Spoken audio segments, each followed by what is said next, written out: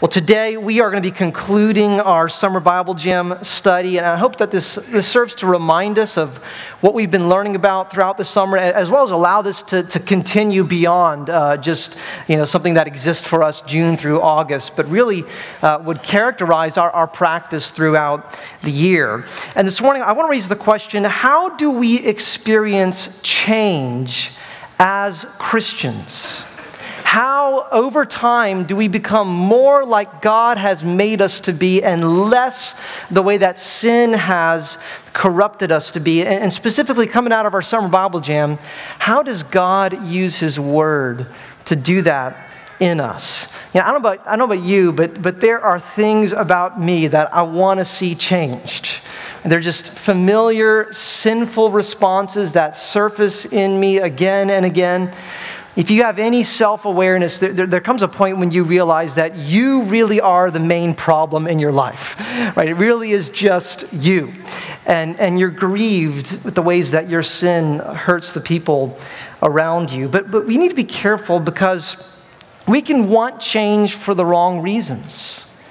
We just want life to be easier, or we're, we're tired of discouragement and we want to feel better about ourselves, or maybe we want to see certain relationships put back together and we figured out if I, I could just learn to do something differently, then maybe this person will forgive me. And, and, and, and the problem with, with those motives is that they won't lead to lasting transformation. And that's because, for one thing, they have nothing to do with God. uh, but, but they also stem from a superficial understanding of our issues. In order to experience genuine change, we, we need to understand not only what we do, but why we do these things.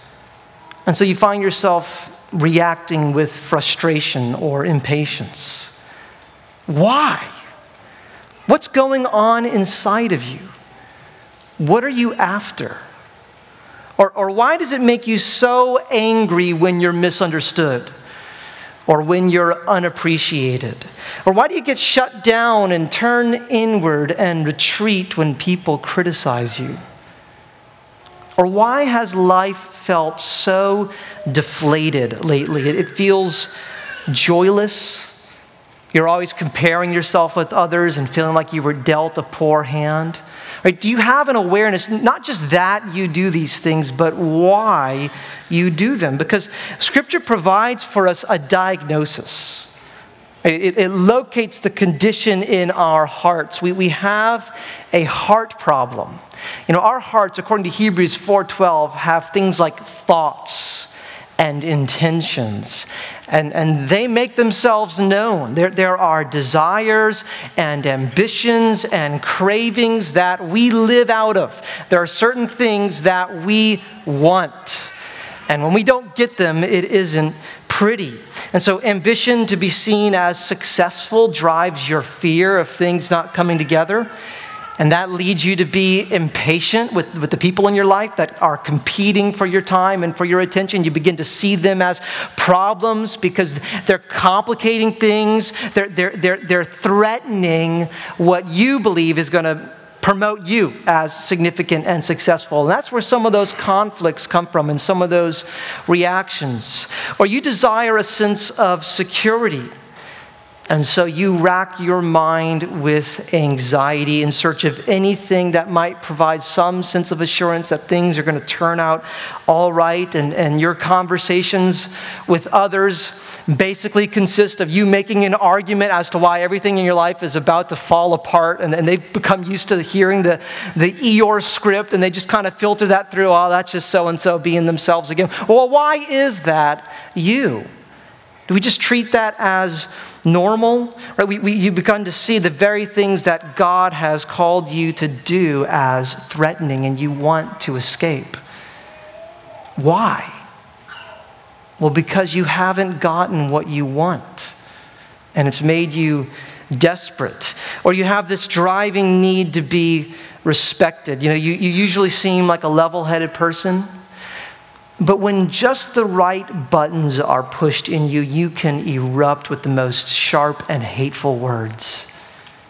Maybe you've even laid your hands on the people that you love. What's going on there? You need to understand that, that that's more than just an anger problem. It, but it is that, but you haven't paid attention to the craving that has controlled you. Right, so here's the question what, what fixes this in us? How can we change? A couple hundred years ago, a pastor named Thomas Chalmers preached a sermon titled The Expulsive Power of a New Affection. And he said it's not enough to just focus on reforming your behavior, or even to be told that you're, you're making a wreck of your life. Th- those kinds of warnings, in and of themselves, are not enough. There are many people who see pretty clearly that, what they're doing is wrong, but it doesn't have any sort of lasting effect or real difference. So Chalmers says the only way to dispossess the heart of an old affection is by the expulsive power of a new one. And, and expulsive meaning that it expels or it, it drives out something else. Uh, the image that came to mind for me is a, is a syringe pump. You know, use that for like uh, children's and, and baby Tylenol, which for some reason we, we make use of a lot in my home. It just seems to always be required. And you know, for, for baby Tylenol, it comes with that little syringe and you, you stick it in there and, and, and it's an airtight thing. It's got a little vacuum in it so that when you draw it, it, it pulls in the medicine into the tube. And then you push on the pump in the back, and that pressure then drives it back out. And typically that means I, have squirted medicine all over Leo's clothes. Um, that's just what happens. And, and, and in a similar way, what Chalmers is saying is that new affections drive out old impulses that have occupied the vacuum of our hearts. And this means that, that something has to be to us more compelling, more desirable, more rewarding than the false comforts and empty pleasures that so often captivate our hearts. Now, what does that have to do with our summer Bible jam? Well, because what we've been studying and practicing this summer, a careful reading and meditating on Scripture, is how you get new affections. God has given us His Bible so that as we, and we seek to encounter Him through it, over time we are changed. And the longest chapter in the Bible is a celebration of how this works. So if you turn with me to Psalm 119. Psalm 119. Each week we have introduced a, different genre of scripture. We've begun this series in the Psalms, and that's how we're going to conclude our time together. And we've mentioned how the Psalms, that they're written in Hebrew poetry. And Hebrew poetry it doesn't have some of the normal things like the roses are red, violets are blue type stuff that we might be used to in, in our poems. It doesn't have uh, rhyme or meter, but uh, there are other things in there that help you see that, that it's written in poetry. And one of the things that, that stands out about Psalm 119 is, is not just its, its size. I mean, it's the, the, the longest chapter in, in the Bible, but, but how it's structured, right? If you, if you look down on your pages there, you, you, you might see in your Bible that there are these little different different sections there, and they, they have these headings of Aleph and Beit and Gimel and, and Dalet, and, and, those are letters in the Hebrew alphabet. And the reason why the, the, the, publisher put that there is to help you see that uh, in that little section, that, that first one, Aleph, uh, every line in that section begins with that letter. Right, so this is written out as, as an extensive acrostic. And each, each section has eight verses, and there are 22 letters in the Hebrew alphabet, which gives you 176 verses. And, and, and that's intentional, right? It, it's, it's drawing your attention to this. It's saying, Pay attention to these words. Think about them. Remember them. Maybe even memorize them. Maybe that's why it's a memory aid that it's structured like this. But, but this psalm is basically an extended argument for what we've sought to do this summer. And it wants us to see all of life included in this. Like from A to Z or from Aleph to Tav, it sees the good life as delighting in God through his word. And, and we're just going to, we're not going to read this whole thing uh, this morning. We're going to zoom in on one of the sections here. So let's read together, starting in verse 9. The psalmist writes, How can a young man keep his way pure? By guarding it according to your word. With my whole heart, I seek you. Let me not wander from your commandments. I have stored up your word in my heart that I might not sin against you. Blessed are you, O Lord. Teach me your statutes. With my lips, I declare all the rules of your mouth. In the way of your testimonies, I delight as much as in all riches. I will meditate on your precepts and fix my eyes on your ways. I will delight in your statutes. I will not forget your word. Deal bountifully with your servant that I may live and keep your word. Open my eyes that I may behold wondrous things out of your law.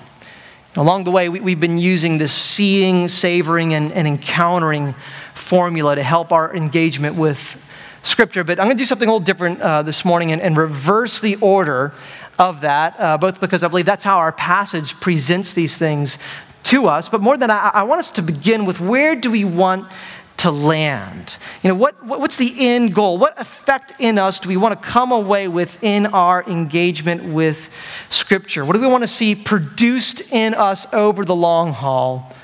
And how do we get there? So, first, encountering, pursuing a God affected heart. And there is encounter language all over this text.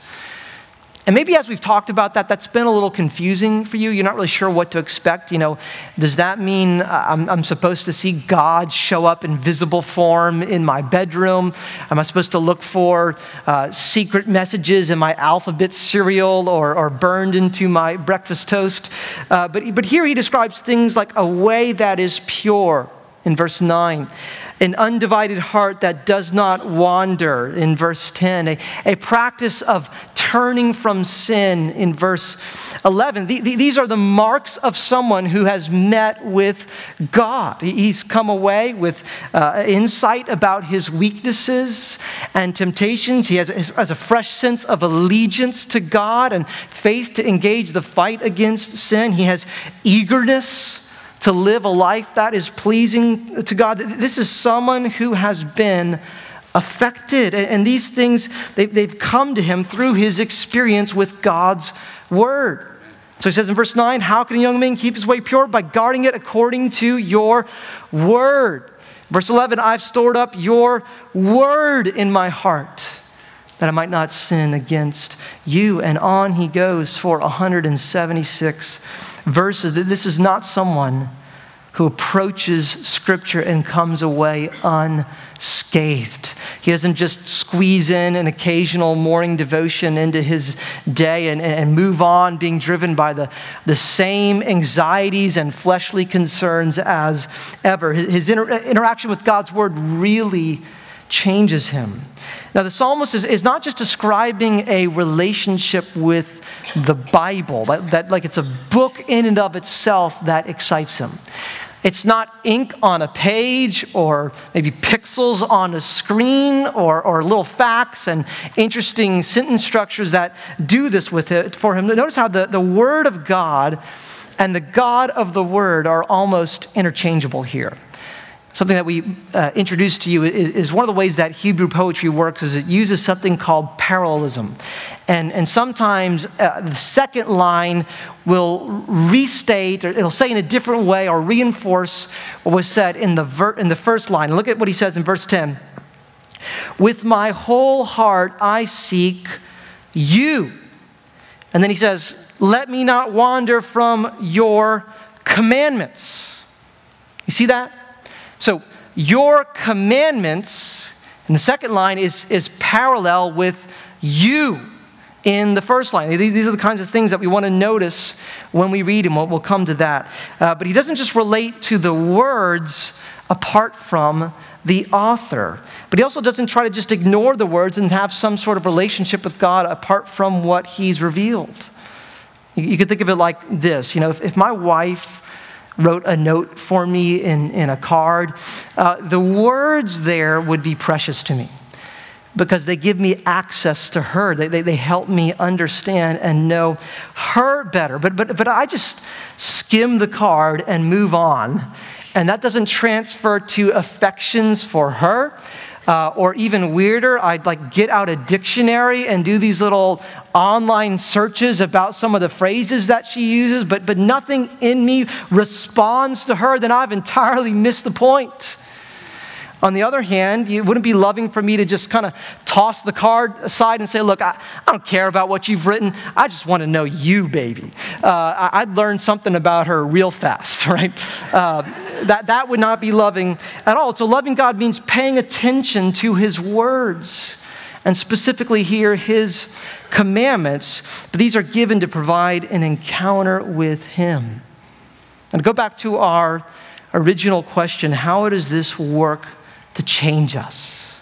How does sin reign less in our hearts? Well, once again, verse 11 I have stored up your word in my heart that I might not sin against you. And the verb for storing something up, it, it, it conveys hiding away treasure. It's what you do with something that you see as valuable. In other words, taking in Scripture in order to treasure God in our hearts is what turns us away from sin. This is the expulsive power of a new affection. This is how it works. And one of the most important verses in the Bible that, that show us this is 2 Corinthians 3:18. This is in your notes. Right? Very essential verse for us to, to learn and to live.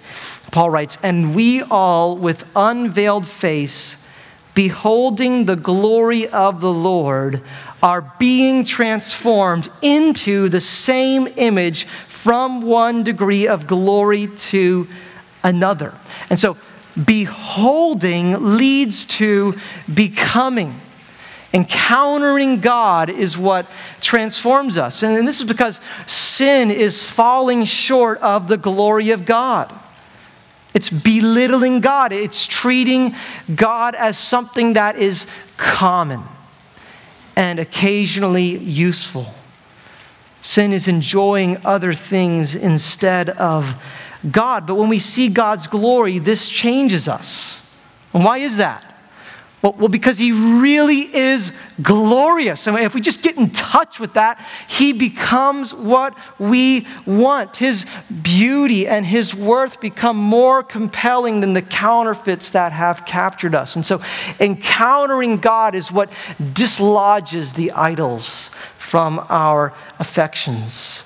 We join the Apostle Paul in Philippians 3, who, who takes every other perceived gain and, and every promise of prominence and significance, and he gladly lays it on the trash heap in order that he might have more of Christ. Christ has become our treasure, and so we don't want to sin against him. We, we don't want to trade in the, the joy that we have in him in order to have empty thrills.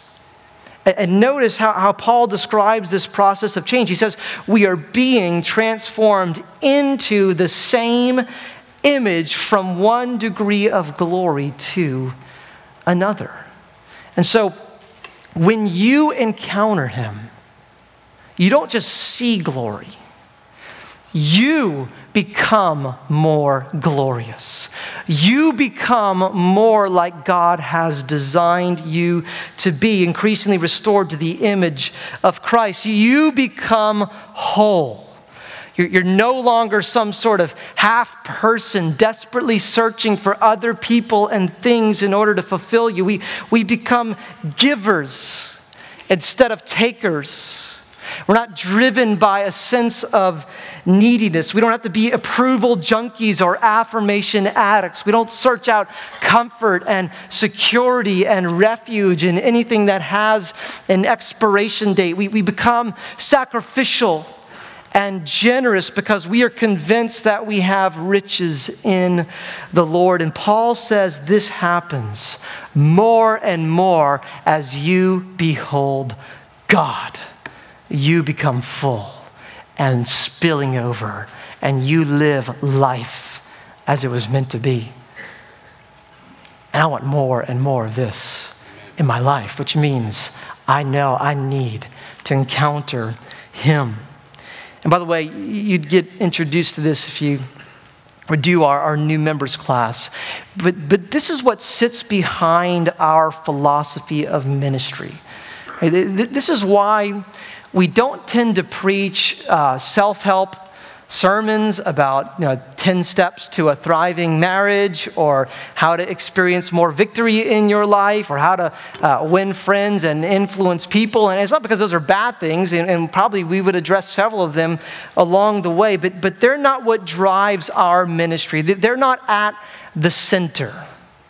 The glory of God revealed through His Word and experienced by His people is at the center of what we do. That, that, that's what we believe will serve people in the long run. And so that, that's what shapes how we preach and how we structure ministry. We want you to find God to be astonishing and for that to set you apart, to put you out of sync in this world, and to launch you for His kingdom. More than just following some nifty list of, uh, you know, checklist of application points and things to pursue. We, we want you to be someone who has beheld God and been changed.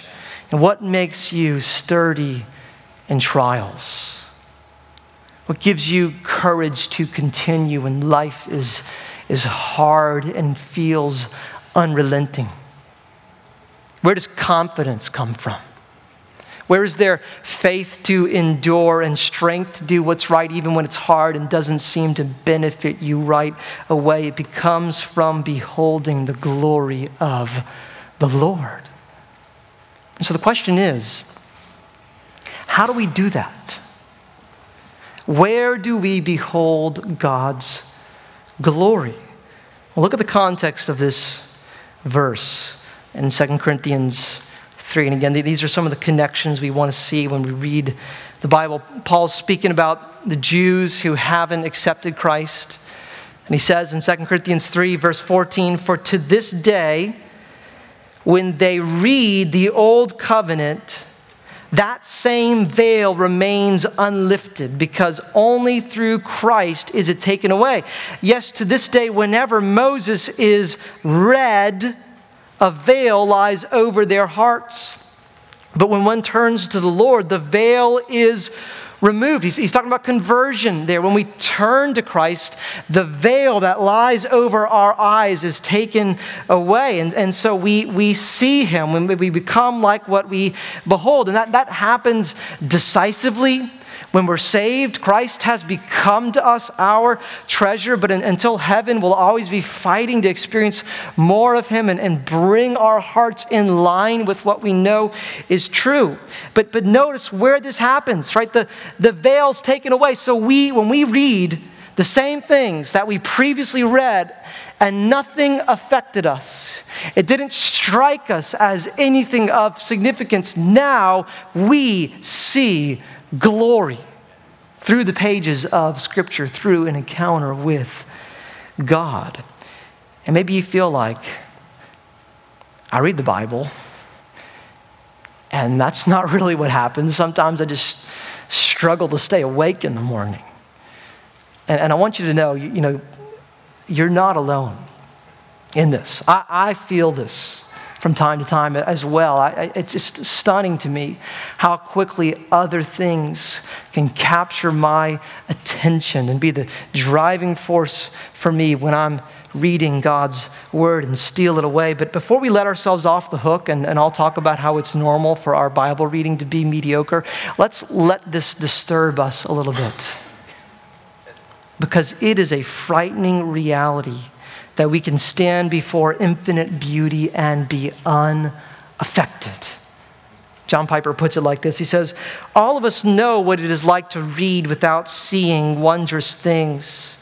We have stared at the most glorious things without seeing them as glorious. We have seen marvels without marveling. We have put God's sweet kindness on the tongue of our soul without tasting sweetness. We have seen unspeakable love without feeling loved. We have seen the greatest power and felt no awe. We have seen immeasurable wisdom and felt no admiration. We have seen the holiness of wrath and felt no trembling, which means we are seeing without seeing. This is why we must continue to weave the thread of God dependent prayer into our reading. Show me your glory. And that's how we began this morning, right? God, reveal this to us. We are dependent on you to show up. Otherwise, we remain behind in our blindness. We need the Spirit to make this effective for us. But that doesn't mean that we remain passive in the process.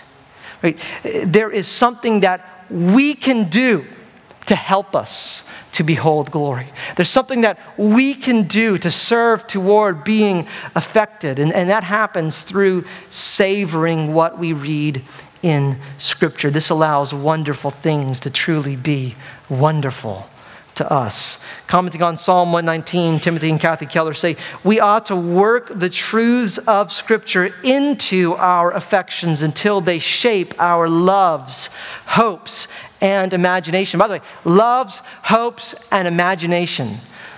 That is what you live out of. Right? That, at the end of the day, shapes your expectations. That, that's what drives what you do, more than just what you acknowledge on some level and what is true for you on, on paper. And that's why, you know, it is just a powerful thing that the culture around us is able to capture the imagination. If they can win over how you feel, if they can get at your emotions, rather than any argument for why this is the case, they have you. And so we need that to be displaced by something else. And here's how the psalmist puts it in verse 14 In the way of your testimonies, I delight as much as in all riches. How can this be true for us?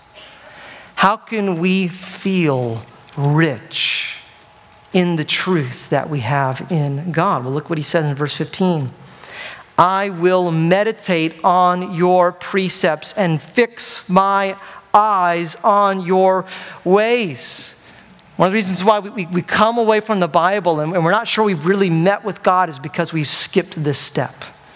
This is what Thomas Brooks says. He says, Remember that it is not hasty reading, but serious meditation on holy and heavenly truths that makes them prove sweet and profitable to the soul. It is not the mere touching of the flower by the bee that gathers honey, but her abiding for a time on the flower that draws out the sweet. It is not he that reads most, but he that meditates most that will prove to be the choicest, sweetest, wisest, and strongest Christian. Eh, this is because meditation causes us to actively engage God's word and live out of what is true there. These things, they, they don't remain merely on paper as something that we give mental assent to, while other knowledge and beliefs are what shape us, right?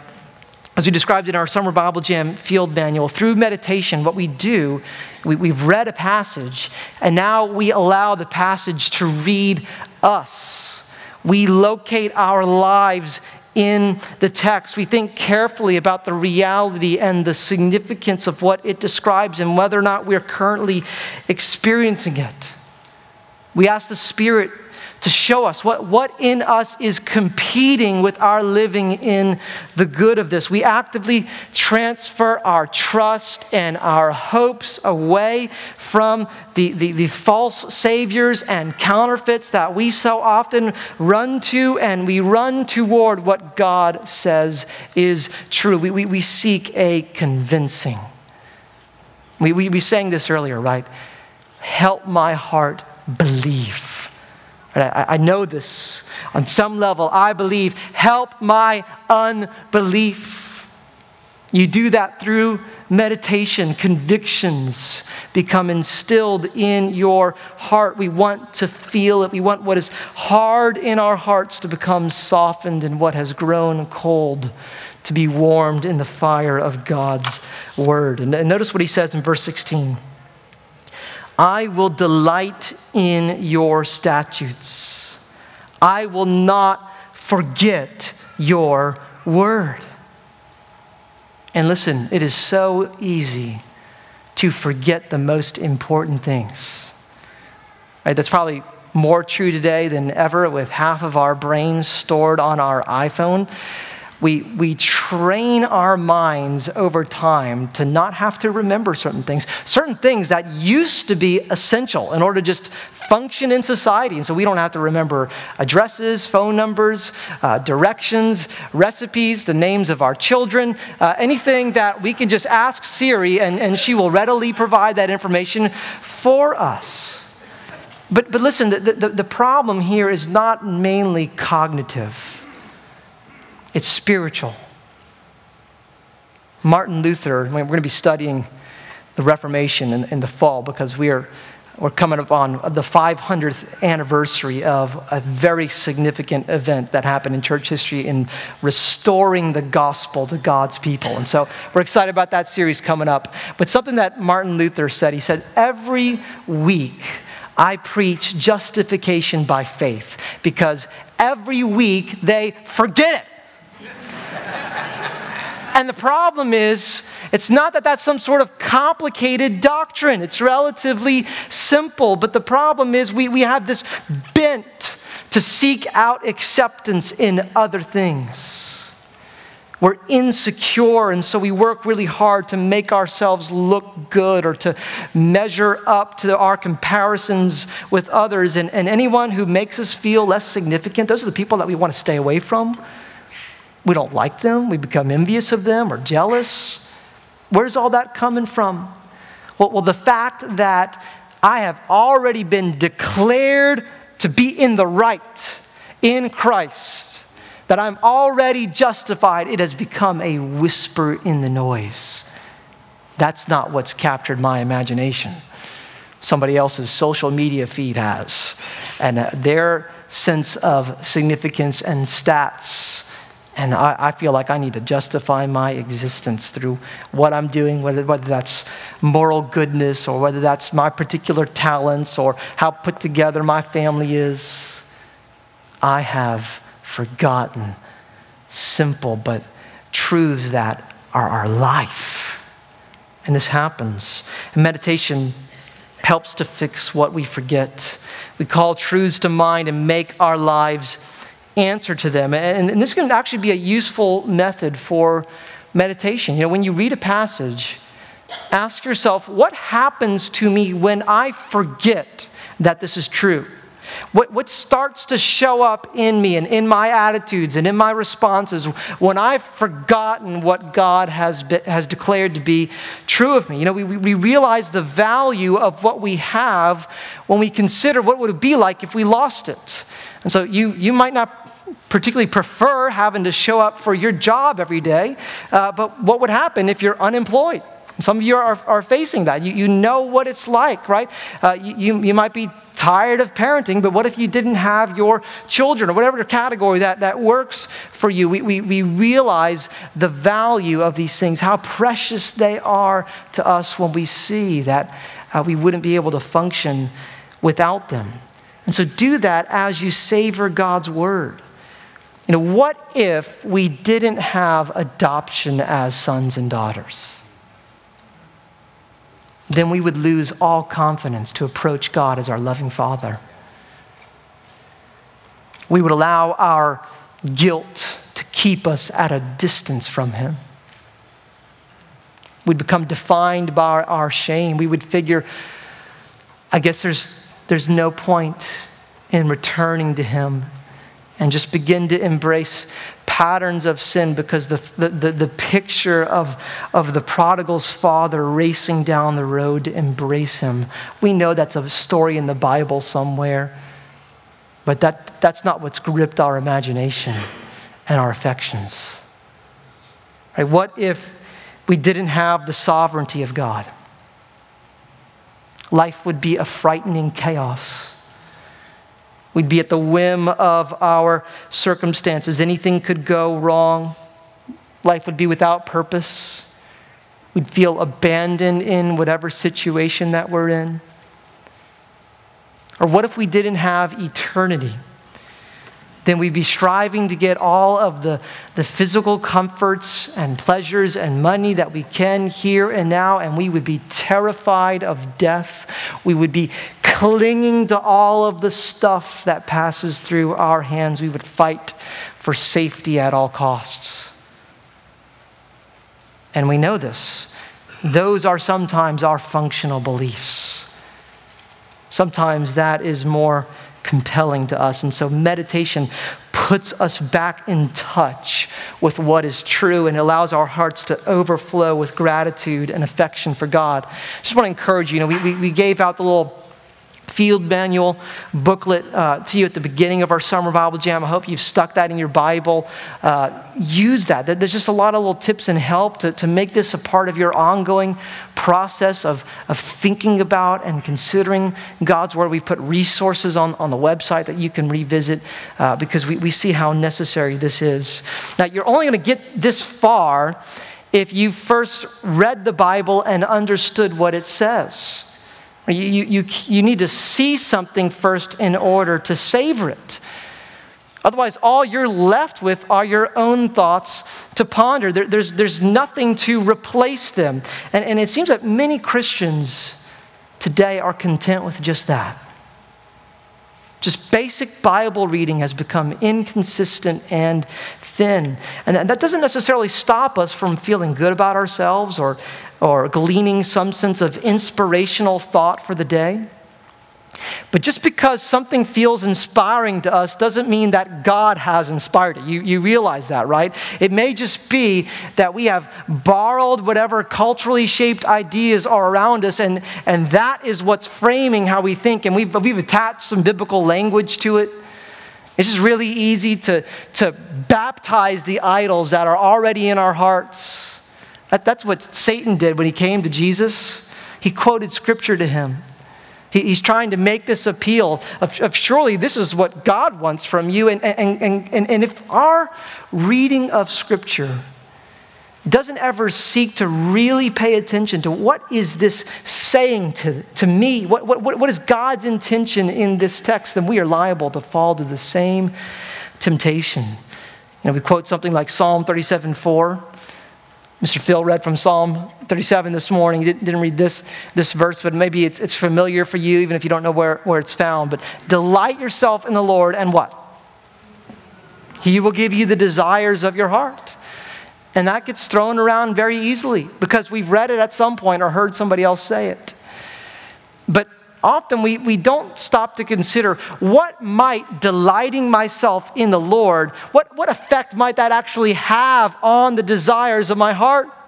Because some, sometimes we think that, that that verse means that God's just ready to endorse whatever we think is going to make us happy, even if it means He takes the back seat to whatever really reigns in our hearts whether or not it's within His will for our lives. God's going to provide it. And, and we treat it like it's this little formula that if you, if you do the right things and you approach God in the right way, then He'll bless you in this way. And we've, we've never really considered what, what does David mean there? And allowed that to dislodge from us what so often has our affections. And so meditation does lead us to ask the question what does it mean to me? But that's only after we've, we've first asked the question what does it mean? Period, right? What has God, through the human author, intended to communicate in this text? Verse 18, he, he asks God to help him see. Uh, he, he says this Open my eyes that I may behold wondrous things out of your law. He's praying for God to enable him to recognize what's really there. And, and, notice, it's, it's really in the law. He's saying, Open up the law to me. I want to I wanna see what's inside of it. I want wondrous things to reach out and find me. But he's not closing his Bible and, and asking the Holy Spirit to reveal some new private meaning about that verse. Right? He, he's saying, I'm, I'm, looking here. God, open this book to me.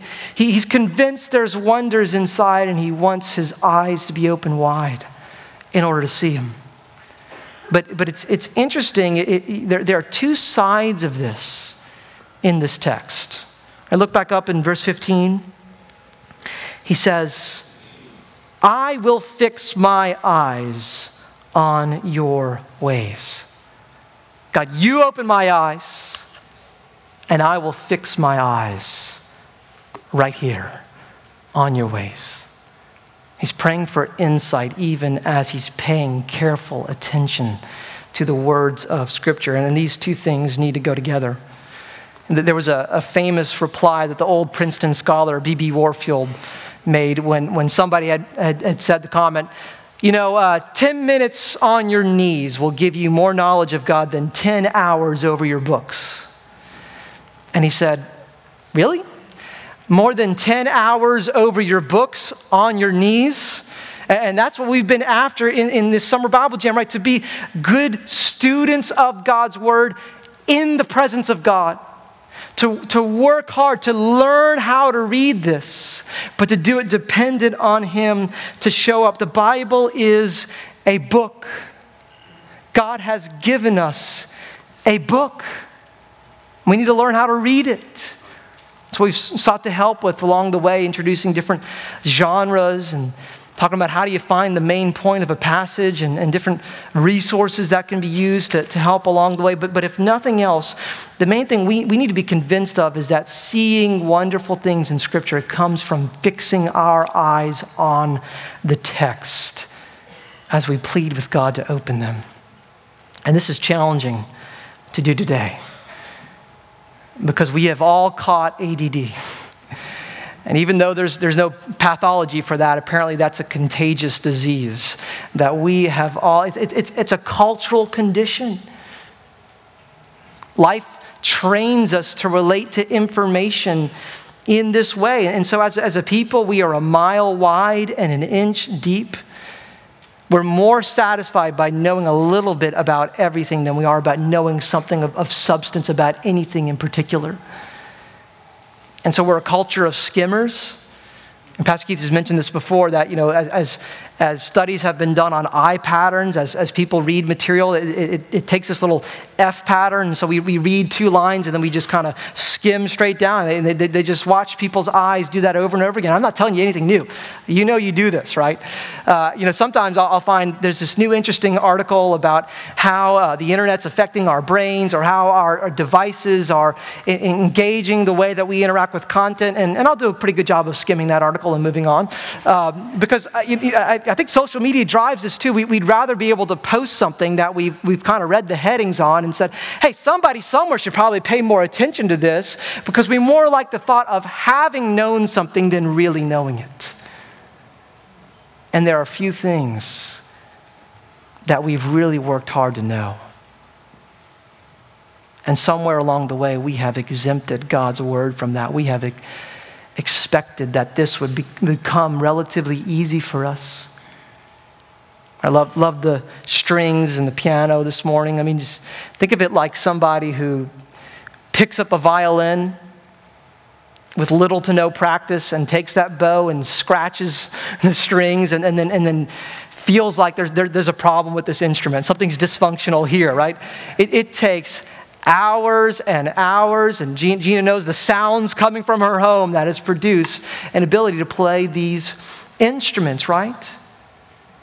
Why do we think that the, the problem is with the Bible or something's wrong with the practice of reading it when we give it five minutes of distracted attention and feel like, you know, reading just doesn't do much for me? Well, reading in that way doesn't do much for anyone. And listen, I, I know this. I know the struggle in me as well. But sometimes it, it, it, it takes reading a passage over a course of time 10 to 15 times to really see some of what's in there. And there is always more. I mean, will we expect anything less from a divinely inspired book? So we want to learn how to make space to be careful readers, to stare at God's word. I will fix my eyes. You, God, you have my attention. John Piper calls this, this concept aggressive attentiveness. And he, he talks about uh, this, this one college professor named Jennifer Roberts, and she teaches a course. It's really interesting. It's called The Art of Looking. And she's a, a, an art professor, and, and so that, that's the play on the words art there. Uh, but what she'll have, she'll, she'll give these assignments uh, to her students. And, and, and sometimes she'll send them out and you'll say, okay, here's the painting. I want you to go sit in the museum and look at it for three hours. And this is what she has to say. He says, every external pressure, social and technological, is pushing students in the other direction toward immediacy, rapidity, and spontaneity. I want to give them the permission and the structures to slow down. The first thing I ask them to do in the research process is spend a painfully long time looking at that object. And she says that the amount of time I, I prescribed is, is supposed to seem ridiculous. But he, she just describes her own experience. She says, it's, it's 20 minutes in before I noticed in one particular painting that the shape of, the, of this boy's ear was the identical shape of the outline of this mouse's belly on this particular painting. And she starts to list off different things that 30 minutes in, this is what I saw. An hour in before I even noticed that this is what's taking place, and she begins to realize what was the artist intending to communicate to this. That is paint on a canvas. This right here, God breathed words. They are worth our attention.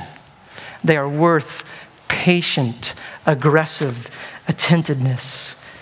And the the encouraging reality, as we've seen this morning, is that if we give our attention to Scripture, if we seek to see wonderful things and we savor what we see so that we encounter God, we really will be changed. New longings will show up.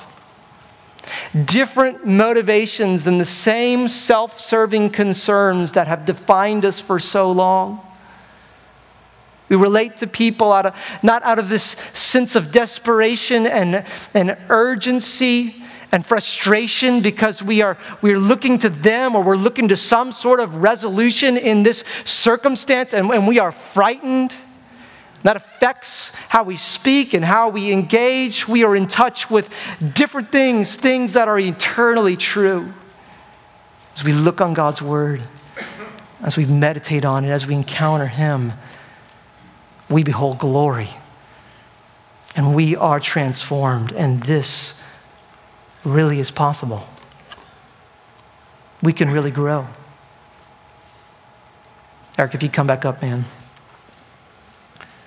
Listen, I, I know there are many other biblical realities that should inform our expectations here for how the process of sanctification takes place in someone's life and the reality of sin that still dwells in us. But listen, if, if you just are honest with yourself and honest before the Lord, and, and, and you know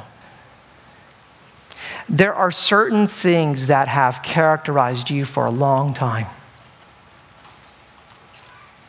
addictive behaviors, certain things that you have gone to for pleasure over and over again. And you find yourself wondering, why, why have I done something so stupid? Until you show up at the same location one more time. Right? If, you, if you are plagued by things like, I think the Lord awakened in me last night as I was praying through this specifically things like anger and anxiety. It, it might be because you, you don't really understand yourself. You, you, you haven't taken the time to explore with God what, what is leading to that. You know, at some level, I, am not, I'm not supposed to be anxious, or I'm not supposed to yell at my family, I'm not supposed to erupt like that at, at work. Things, things shouldn't cause that kind of reaction in me, but, but you, you, you haven't listened to what, what is reigning inside of you that is leading you to do that. You don't really understand yourself. But even more importantly than that, might it be you've never given God's word the kind of patience, the kind of availability of your soul, the kind of savoring that we've described today that allows you to see God's glory in a way that really will change you. This, this struggle, we will, be, we will be involved in this process for the, every day of the rest of our life until we are in heaven, and there will be no more struggle. And everything inside of us is resolved with God, how God has made us to be. But there should be progress that we are seeing. There, there should be the kinds of things that Psalm 119 describes. I'm turning away from sin. I've got affection and hope for you, God. You are my delight. I'm not driven by the same issues and concerns that have always gripped me. You just allow God to do a work of revealing that in, in your heart. Is it because He has said, hey, there's, there, there's a medicine here that's going to fix this in you? And you've been too busy to take the medicine. You've been taking other things instead. You've turned aside from it. I mean, if somebody were doing that with just something that had to do with physical health, we would think they are retarded. But for some reason, we, we excuse ourselves from the very process that God has designed to free us, to show us glory and make us glorious. So I want us to stand together, and as we conclude our time in this series, I pray for God's favor on all of us in a way that sends us forth to allow this to continue to make room for it in our day to day lives, and for these to be moments when God is pleased to show up, powerfully reveal Himself through His Word. Let's pray.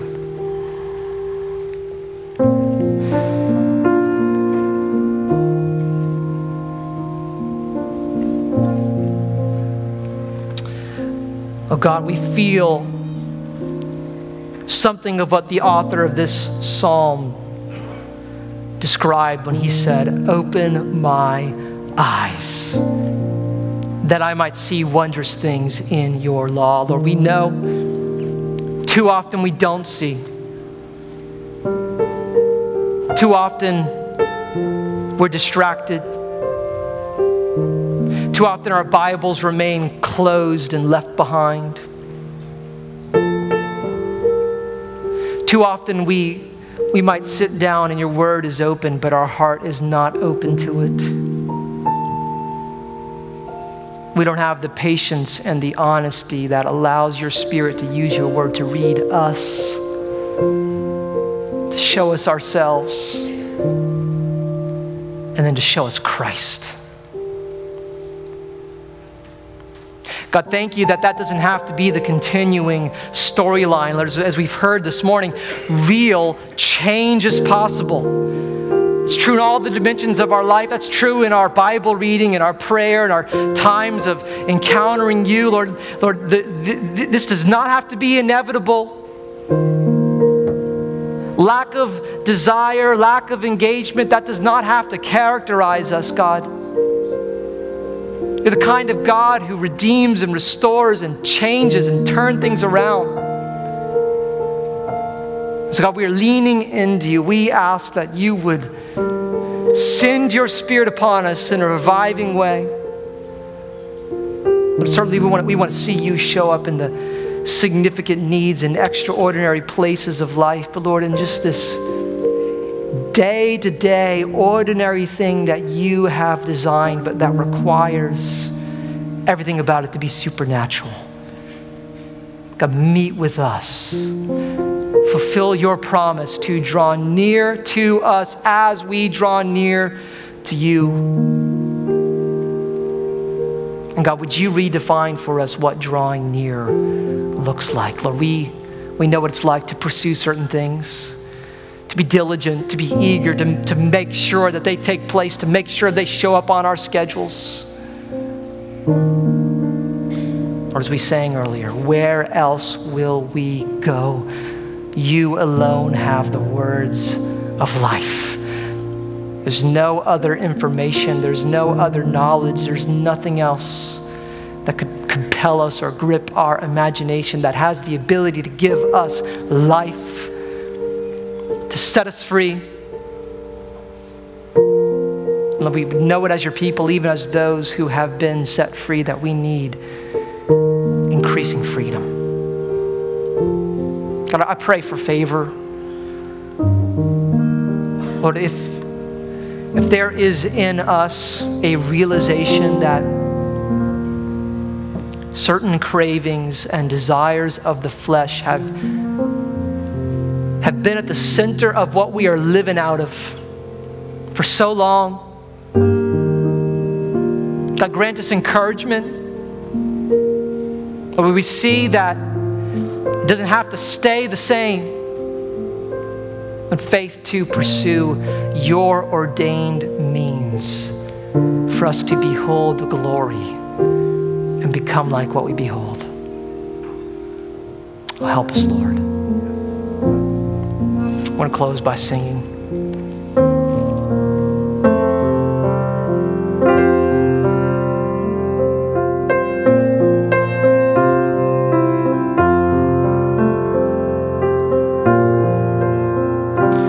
Lord, I come, I confess, bowing here, I find my rest, and without you, I fall apart. You're the one that guides my heart. Lord, I need you.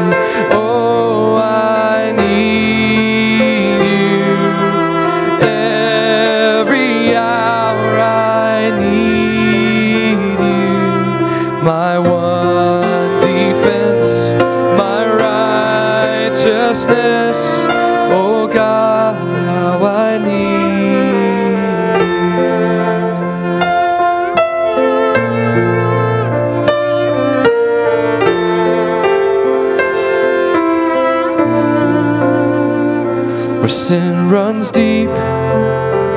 Your grace is more, yes, it is, where grace is found, is where you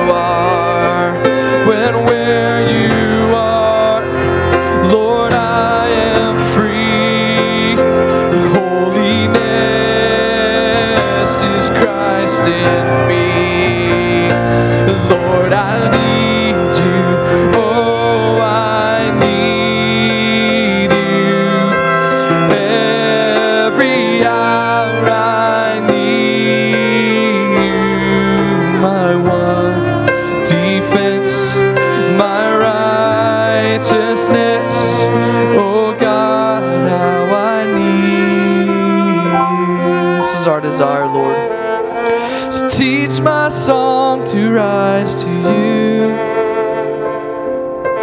When temptation comes my way, when I cannot stand, I'll fall on you. Jesus, you're my hope and stay. Sing it again. Teach my heart to teach my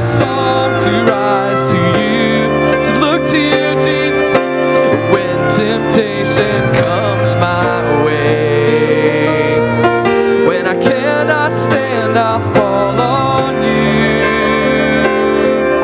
'Cause Jesus, you're my hope and stay.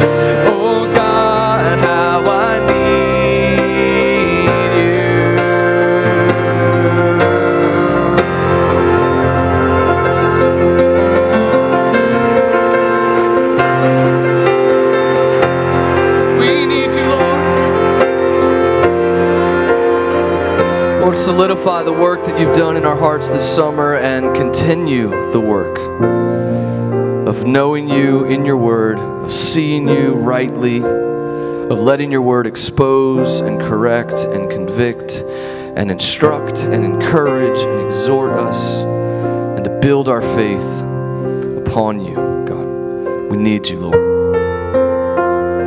And we have you, Lord, which is good.